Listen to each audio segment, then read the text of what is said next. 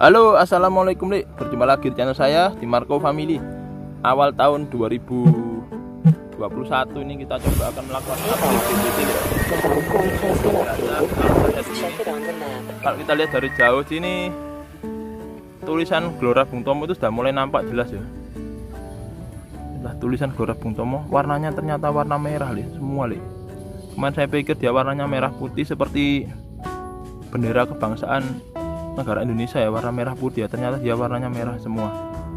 Nah seperti ini kondisinya. Luar biasa. Kita zoomkan. Nah seperti itu ya. Gelora Bung Tomo ya. Nah stadion Gelora Bung Tomo yang ada di Surabaya ya. Dan ini akan menjadi salah satu venue untuk Piala Dunia U20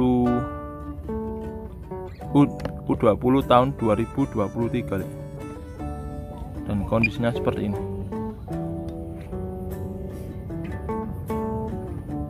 Setelah stadion Gelora Bung Tomo.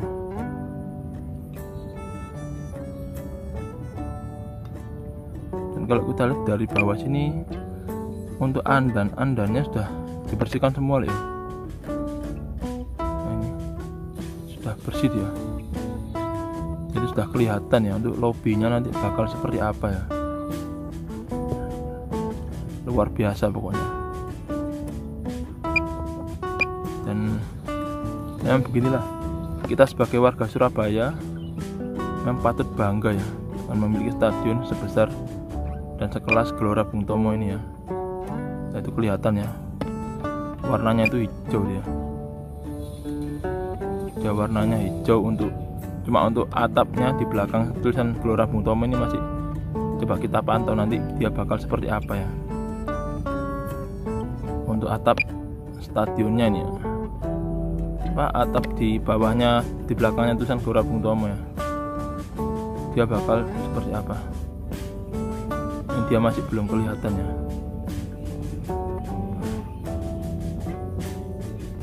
Nah, kemarin terlihat di sana ada ruang rokok untuk lift juga sudah kelihatan. Jadi yang di bawah itu itu adalah ruangan rokok ya untuk merokok dan jalannya seperti ini ini tinggal finishing finishing aja ya. Tulisan Gelora Bung Tomo sangat jelas ya warnanya merah menyala ya. Dan untuk gambar ornamen Bung Tomo nya sendiri seperti ini. Kalau belum pernah lihat video saya saya tunjukkan ya. Ini gambar ornamen Gelora Bung Tomo yang ada di stadion Gelora Bung Tomo ya. dia adalah pahlawan nasional kebanggaan arek-arek Surabaya ya. Jadi arek-arek Surabaya ini pasti bangga dengan Bung Tomo sendiri dia membakar semangat arek-arek Surabaya waktu pertempuran melawan Belanda ya. Refleksi cahaya dari sini kelihatan ya. Samar-samar tapi sudah terlihat ya itu di sana. Refleksi cahayanya rumput Gelora Bung Tomo ya. Dari sini kita arahkan ke arah samping. Untuk paving legendarisnya ya.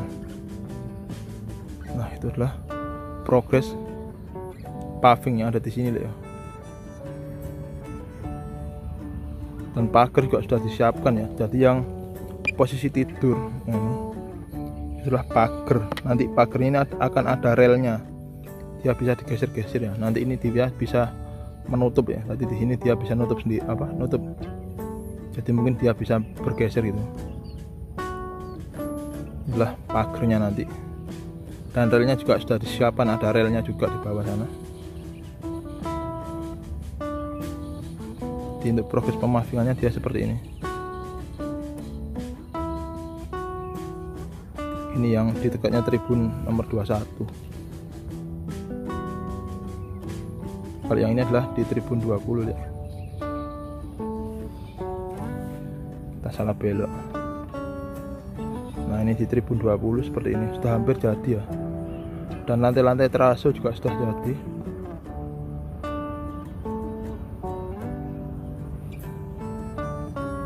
pagarnya dia di sana sudah taruh ya. Nah itu pagar yang di bawah sana sudah sudah disiapkan ya tinggal bisa digeser-geser gitu ya. Dari sini untuk progres pemafingan ke sana nanti akan masih ditenderkan ya mungkin akan dikerjakan bulan 4 ya ini di sekitar. Mungkin nanti yang tulisan-tulisan yang rusak di tribun nomor 17 itu mungkin diganti juga ya. Bahkan gara-gara piala dunia ditunda kan mungkin renovasinya tetap tetap berlanjut sih. Cuma mungkin bisa lebih santai nggak nggak dikejar waktu nggak buru-buru gitu ya.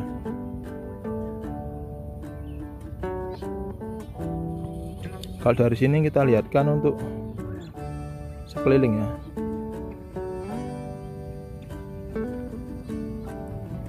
kemarin lintasan. Untuk apa? Sebelah sana. Parkir motor juga tetap ya nggak ada perubahan ya. Dan parkir mobilnya kan memang dia sudah selesai. Ini adalah parkir mobil yang ada di Stadion Gelora Bung Tomo. Motifnya bermotif sangat luar biasa ya. Dan di tengahnya ini jalannya belum mungkin taman gitu ya nah parkir mobil di sini ya.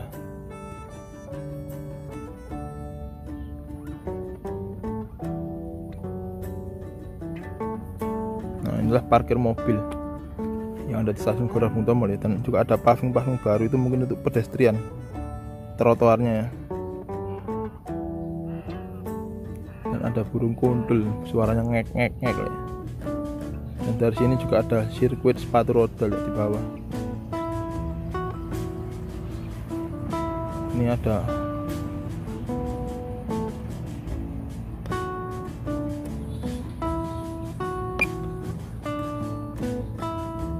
Di sini adalah untuk latihan sepatu roda buat para atlet-atlet muda ya. Dia modelnya bulat gitu. Apa? Bukan bulat ya kayak telur gitu. Lon apa itu namanya? Ya seperti itu ya modelnya. Ini adalah sirkuit sepatu rodanya nah ini. Ini untuk latihan para atlet muda dan atlet mudanya sekarang sedang di bawah sana ya. Dia menunggu. Dia masih memakai sepatu rodanya. Dia masih pakai sepatu roda. Seperti ini. Adalah sirkuit sepatu roda yang ada di stadion Gelora Bung ya. dan juga ada yang baru datang itu sebelah sana. Dia baru datang dia masih berjalan ke dalam. Ini kondisi awal tahun deh mungkin kan hari ini Sabtu ya mungkin hari libur. Kita langsung arahkan ke lapangannya ya. Lah lapangan stadion Gelora Bung ya. Nanti untuk rangka-rangka ini kata Pak Mitro ya ini akan dicat ya cat ulangnya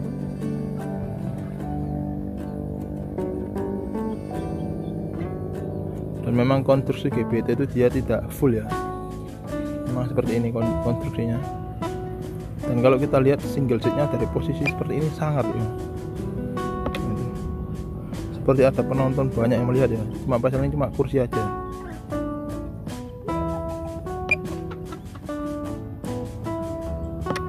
Kondisi rumput stadion Gelora Bung seperti ini ini akan tetap terus dirawat ya dan dibersihkan ya jadi mungkin untuk rumput-rumput liar yang tumbuh di sini dia pasti akan rutin untuk dibersihkan ya.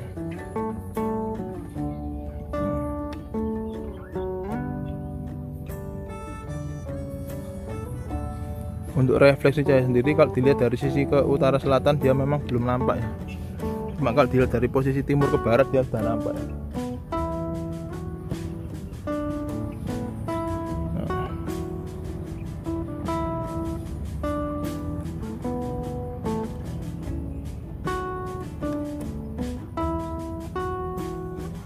Saya view nya dari timur menuju ke barat ya.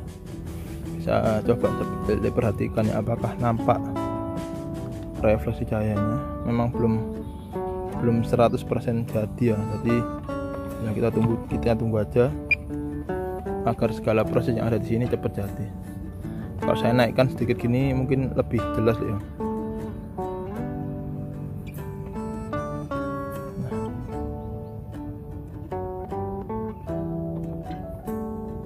coba saya putar ya. Yang biasanya nampak dari barat ke timur dia nampak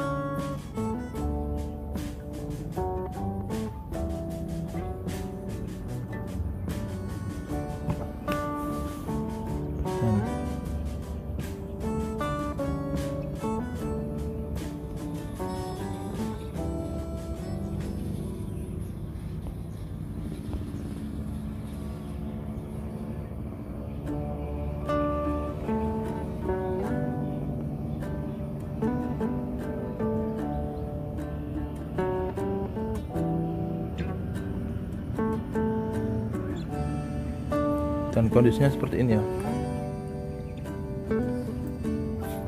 Adalah Stadion Gelora Bung Tomo kondisi terbaru.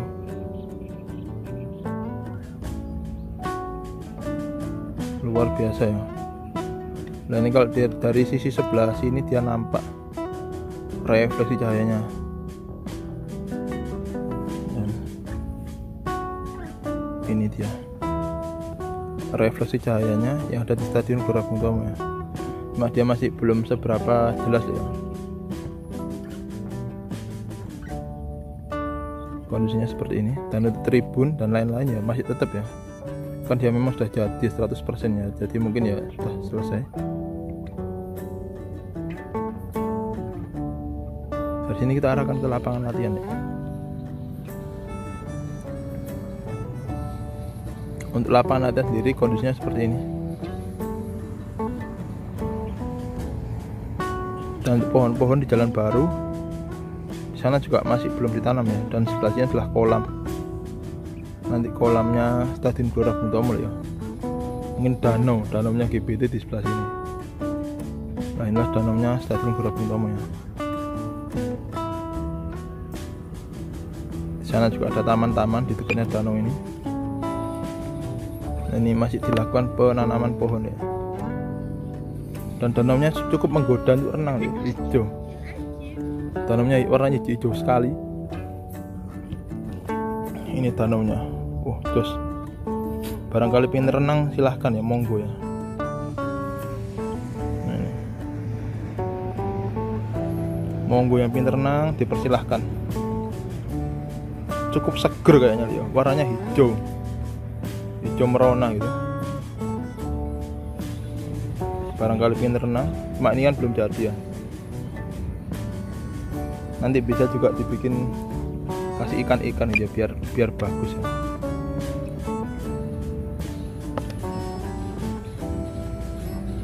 kalau untuk progres di lapangan latihan sendiri seperti itu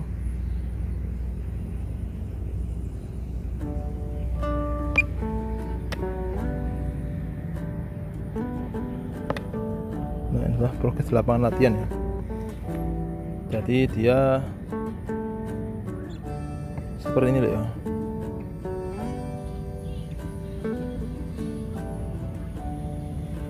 Itu ada kerennya di sana. Kerennya ada dua ting yang tinggal masang yang bagian ujung ke ujung. Dan sudah terpasang ada lima titik ya. Sudah terpasang lima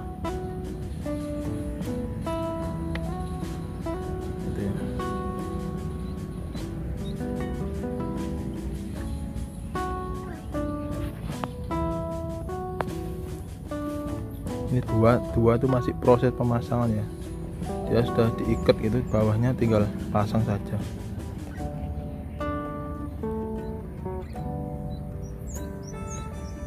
Ya sudah.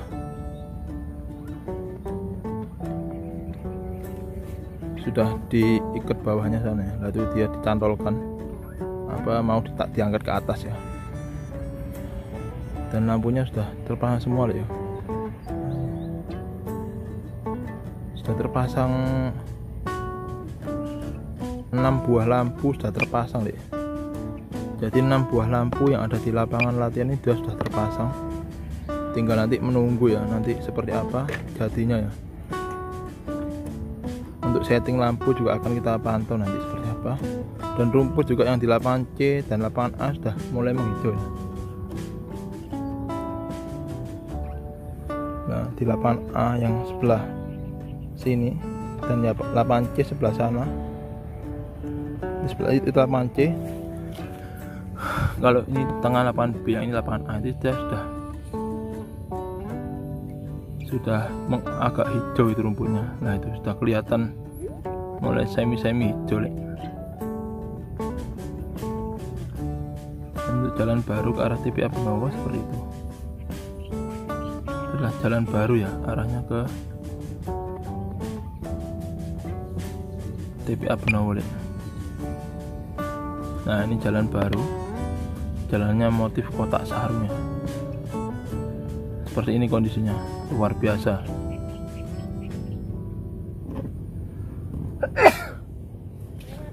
Dan ini adalah mari. Nanti akan jadi salah satu akses ke GBT kalau dari sisi sebelah utara. Seperti pesan Burisma dulu ya. Jalannya seperti ini dia berbelok ke sana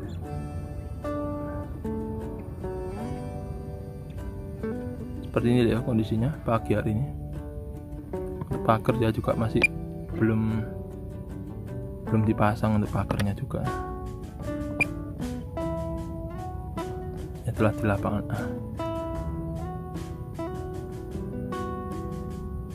nah. di bawah itu harusnya untuk konstruksi pagar ya yang ada cor-coran itu. Dan rumputnya juga sudah mulai menghijau ya cuma penanaman rumput yang di sini dan di lapangan ter itu kayaknya berbeda ya. Cuma walaupun berbeda cuma pasti hasilnya dia sama ya. Kan memang banyak jalan menuju ke Roma seperti seperti itu istilahnya ya. Hmm. dan tribun mininya di kotak-kotak ya.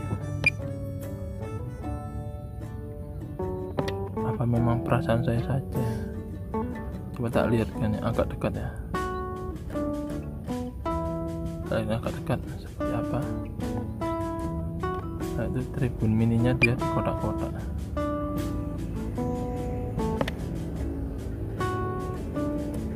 Oke lek kurang lebih seperti itu ya update GBT kali ini. Jangan lupa saksikan terus update-update GBT selanjutnya ya. Ini jalan apa? Untuk lahan parkir motor ya masih dibangun ya. Untuk pagar juga masih proses dan paving yang tembus jalan sini juga masih belum jadi diproses juga. Ya kurang lebih seperti itu ya update GBT kali ini. Jangan lupa saksikan terus update-update GBT selanjutnya hanya di Marco Family Ayo ojo nomel jalan-jalan